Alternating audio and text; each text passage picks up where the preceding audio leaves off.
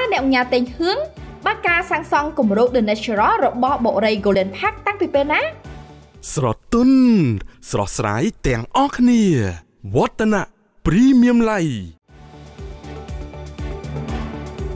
អ្នកញ៉ាតេងហឿងអគ្គនាយកក្រុមហ៊ុន Golden Park Development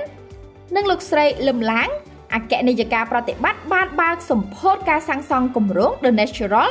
របស់បុរី Golden Park ក្រោមការវិនិយោគទឹកប្រាក់រាប់រយលានដុល្លារកាលពីថ្ងៃទី4ខែធ្នូឆ្នាំ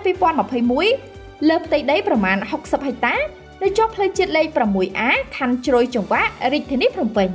The Natural របស់បុរី Golden Park ជាគម្រោងអភិវឌ្ឍលំនៅឋានបែបសហគមន៍ធម្មជាតិបៃតងសាងសង់នៅលើផ្ទៃដីទំហំ60ហិកតានៅលើផ្លូវជាតិលេខ 6A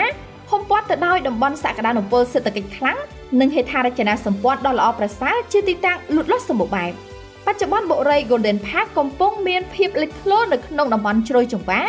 និងត្រូវបានគ្រប់គ្រងយ៉ាងខ្លាំងពីសំណាក់អតិថិជនទៅលើប្រភេទផ្ទះប្រណិតប្រណិតដូចជា Villa King, Villa Queen, Villa Prince, Villa Plus, Villa កូនកាត់និង Home Office ដែលពេញនិយមនិងទាន់សម័យសម្រាប់ការវិនិយោគនិងការរស់នៅសូមជម្រាបជូនថាស្ថាបនិកបុរី Golden Park អ្នកអញ្ញាតេងហឿងបច្ចុប្បន្នមានតួនាទីជាសមាជិកក្រុមប្រឹក្សាភិបាលសមាគមអង្គការកម្ពុជា និងជាអគ្គនាយកក្រុមហ៊ុនតេងឡៃ Group លោកត្រូវបានព្រះមហាក្សត្រចេញព្រះរាជក្រឹត្យប្រាប់បង្គាប់ផ្ដល់ក្រុមងារជាអ្នកអញ្ញាកាលពីថ្ងៃទី18ខែសីហាឆ្នាំ2023ស្រទន់ស្រស់ស្រាយទាំងអស់គ្នាវឌ្ឍនៈ Premium Light